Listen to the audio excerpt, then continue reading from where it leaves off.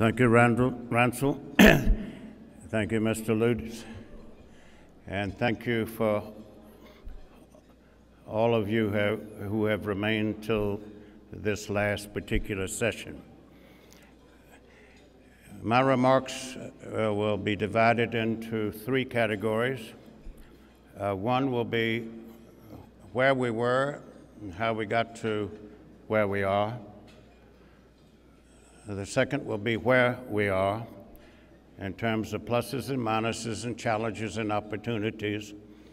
And then I'll try to close on where might we go forward from here. In terms of how we got to where we are, where we were, I made some brief references the first evening uh, to this relationship going back far further than most are aware.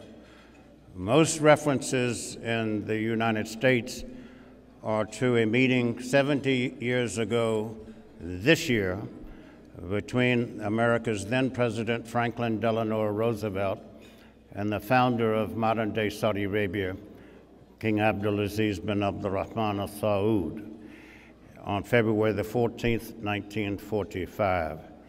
And yet the relationship predated that with regard to American medical personnel coming to the kingdom every three months, staying for one week, and treating patients and those in need without asking anything in return.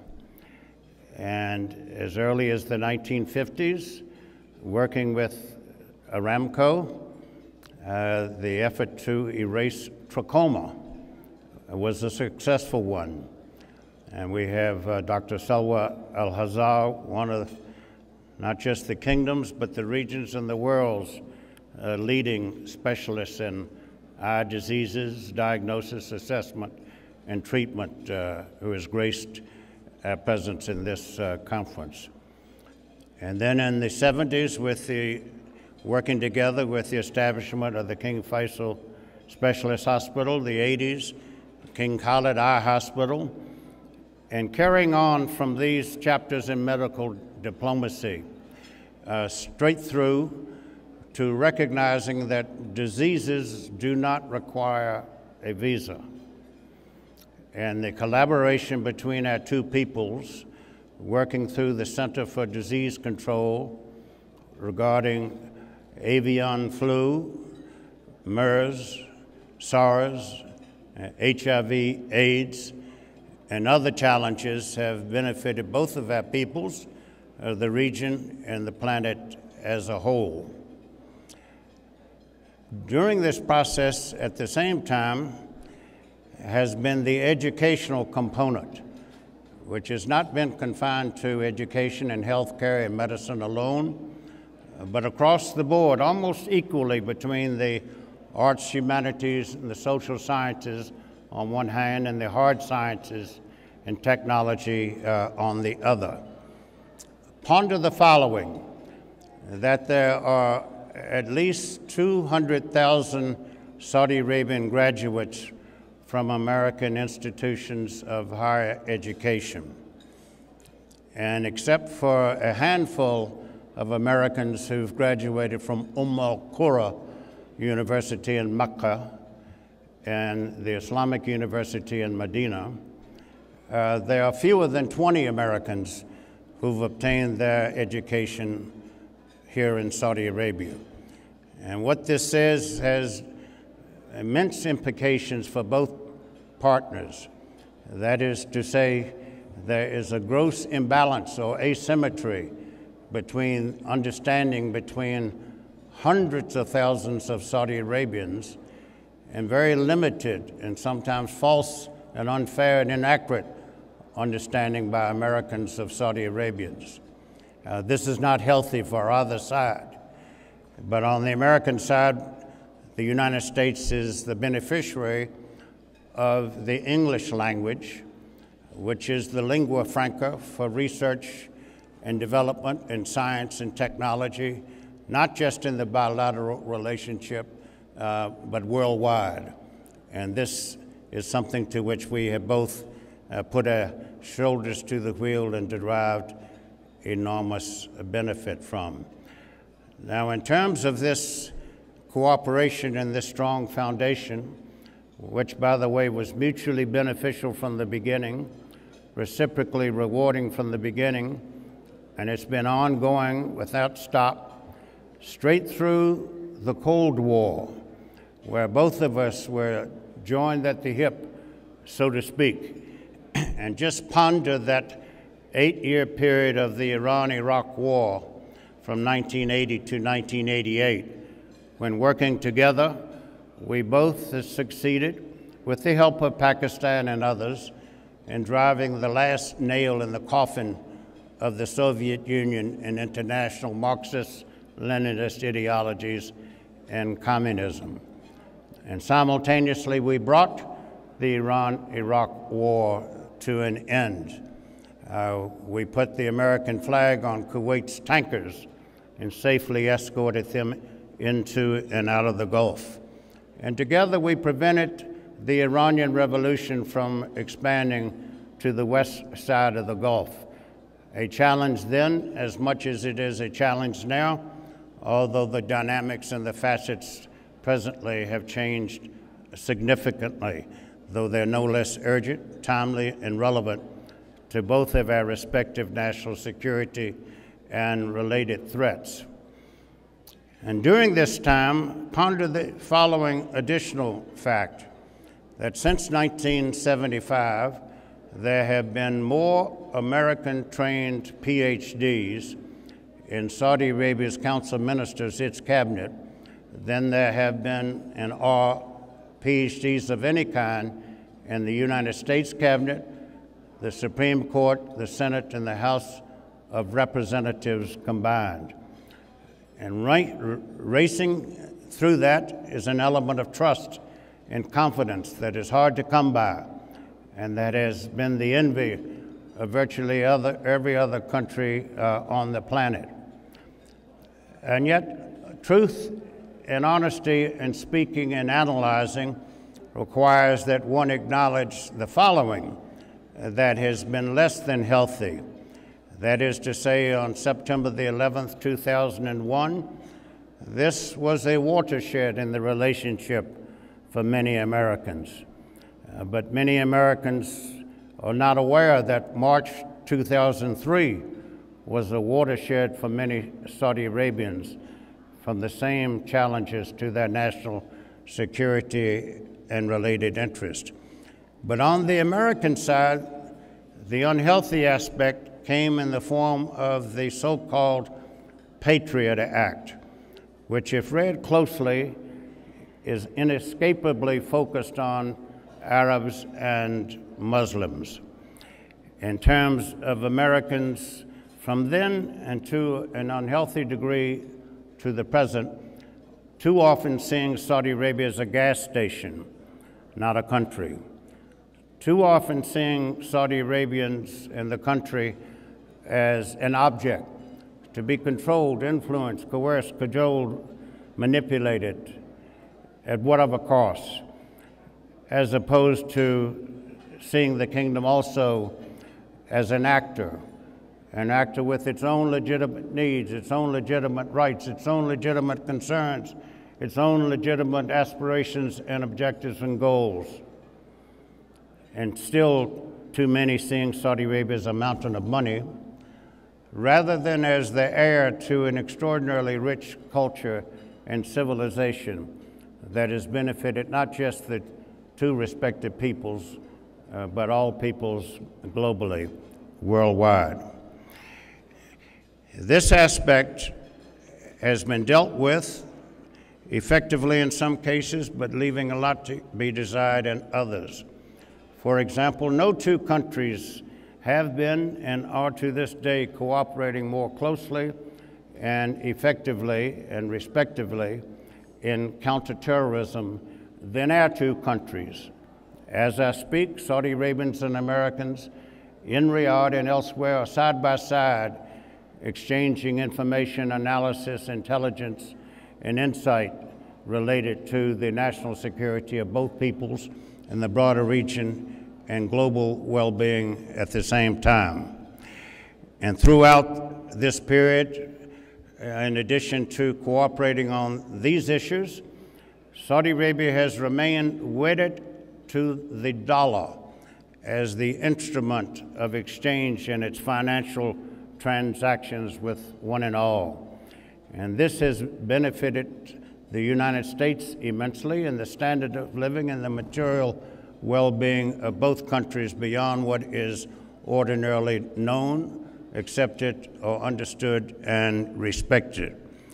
As recently as five years ago, actually seven years ago, with the international mortgage housing financial liquidity crisis, it was Saudi Arabia that insisted it would no longer play the role it had played mainly in the past of being with America on the crash landing, but from that point on, it insisted it would be with the United States on the takeoff as well.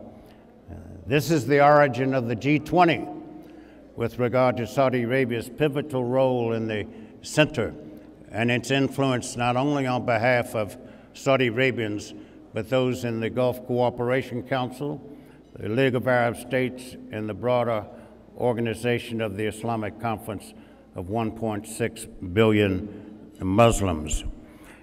In terms of uh, challenges at the present time, they're twofold in the sense of a joint awareness that a healthy people is essential for healthy economies.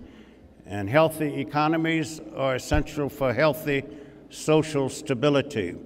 And healthy social stability and economic stability is essential for national security and national stability. And these four are essential for the prospects and potential for prosperity. And so both of us have no daylight between us in that assessment. Each of us is aware also of the health care demands of our respective peoples. And here's where we're similar but different. We're both vast in our territory, but you are, in many ways, a continent more than a country. You have 13 neighbors. The United States is blessed with having two oceans among its neighbors and friendly neighbors such as Canada and Mexico. Would that many countries were that blessed. And yet, where both of us are commanded to provide health care services for all of our people, your approach is different. Yours provides health care services without regard to race, creed, or religion. In the United States, it's legal that, that way, but there's no denying that there's still racial inequalities and economic inequalities that have eluded the best efforts at resolution and solution. Americans can learn much from Saudi Arabians in this regard. And Americans can learn much from Saudi Arabians in additional ways as well, in terms of Saudi Arabia's emphasis on the family, and especially children, and the elderly, and charitable giving, and compassion, and justice. And Americans too often forget the emphasis on justice, even though in the Pledge of Allegiance to America's flag, the phrase of liberty and justice for all is as relevant and timely and urgent now as it has ever been since that phrase was coined. There is the aspect that Americans can also learn from Saudi Arabians in terms of the following that you, far more so than we, if at all ourselves, are close to the cradle of Western culture as Western culture is known. You're part of the crucible of Western and worldwide civilization as Western and worldwide civilization is known. You are near the intersection of three continents Africa, Asia, and the Middle East. You are close to the anvil of antiquity. You are nearer than we are to the source of sunshine on the classical world. And you are at the epicenter of prayer and pilgrimage, of faith and spiritual devotion for the 1.6 million billion Muslims, nearly a quarter of humanity. All of these things we can learn from you. And fortunately, the atmosphere from this conference and before and everything leading up to it has been more receptive than in quite some time. And the moment for our cooperation is as propitious now as it has ever been. And we can take solace and comfort in our joint awareness of the need for collaborative research on communicable diseases and sharing knowledge and understanding and information on communicable diseases and the entrance and the exit challenges of our respective peoples. Some 70,000 people come into the United States every day from other countries. And here in Saudi Arabia, you have 2.1 million pilgrims that come from all of the Islamic countries uh, throughout the planet. No two other countries have challenges remotely commensurate to these in terms of an objective common interest, a common need, a common concern, a common aspiration and objective. And both of us are aware of the rising demands for health care of a quality and quantitative extent in both of our countries and societies. And we're equally also aware of the rising cost of health care, and the need to find innovative, creative ways to keep those costs in check while not compromising the quality of the health care. And we both share a oneness in the humanity and the humaneness and the usness of health care. A person who's trying to have something taken out of them or treated effectively with medicine does not care, and rightly does not care, where the doctor or the nurse comes from. Human pain and sickness and illness is the same without regard to religion, without regard to ethnicity, without regard to nationality. In this, we are all one as well. On the educational side, you have 110,000 Saudi Arabian citizens in the United States and institutions of higher education at this time, with a high emphasis and value on medicine, nursing, and pharmaceuticals.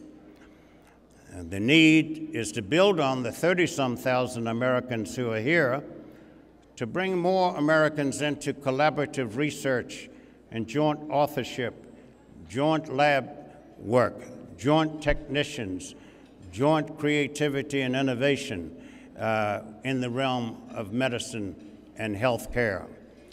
And each of us realizes, not too late, that it is far more economically effective to treat diseases before they begin in terms of preventative medical care rather than managing or administering diseases such as cancer and cardiovascular and diabetes and obesity, which afflict both of our peoples uh, to an embarrassingly horrendous extent.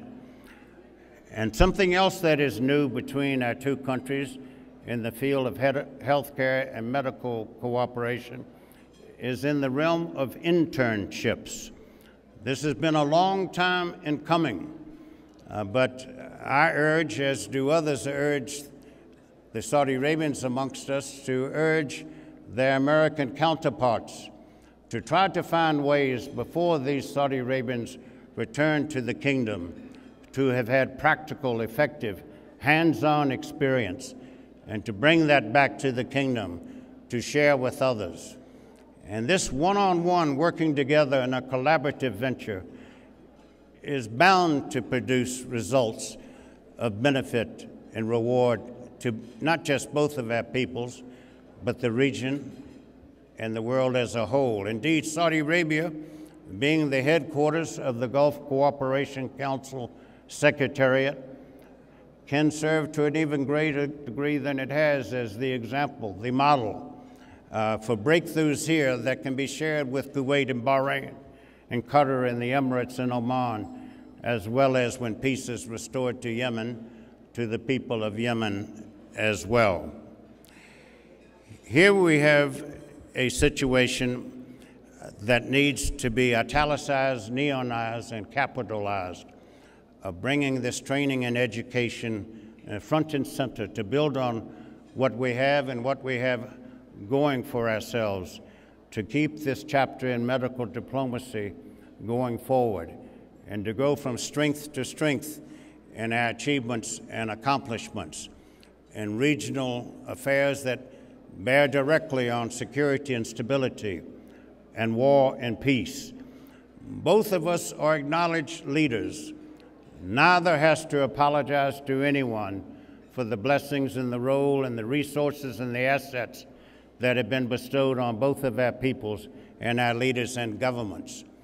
And it is heartwarming, to be sure, to learn in the last few hours that the new Minister of Health, Khalid Al Falih, Chief Executive Officer of the world's largest petroleum company, will now bring the administrative gifts and accomplishments and achievements for which Aramco is renowned to the Ministry of Health, uh, which requires a strong administrative hand and strong personalities behind those administrative gifts. Indeed, Saudi Aramco is renowned for tackling large projects which national healthcare systems are indeed as large national projects, and to completing them on time and within, if not under budget. And these are commanding principles and values and ideals enshrined in the mission and the mandate of Saudi Arabia's Ministry of Health, as within every country's Ministry of Health. We are, in short, leaders at the global level and at the regional level, and together each empowers the other to be more effective than were we to be alone. Again, returning to the oneness of our humanity, especially as it is manifested in the field of medicine and, and healthcare services, facilities, buildings, cost, and quality. In short, despite the obstacles that we continue to confront and not run away from, uh, both of us have a record for which there's no need for an apology. I know of no two countries anywhere in the world that, despite our difficulties, would not trade places with the two of us within a matter of seconds. It is clear that on both sides, none of us are bereft of blemish. None is devoid of defect or free from flaw.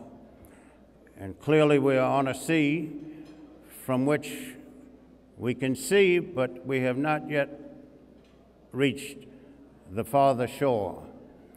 But together we know we can, though not by accident and not by coincidence.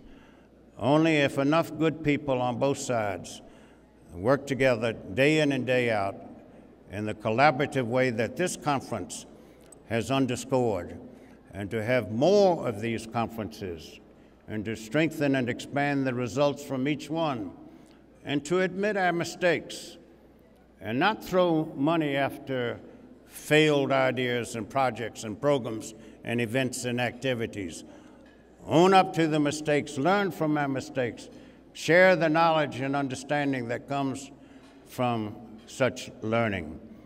All will be the better as a result, and we will reach that further shore to the betterment of both of our peoples and those in this region and the larger world. Thank you.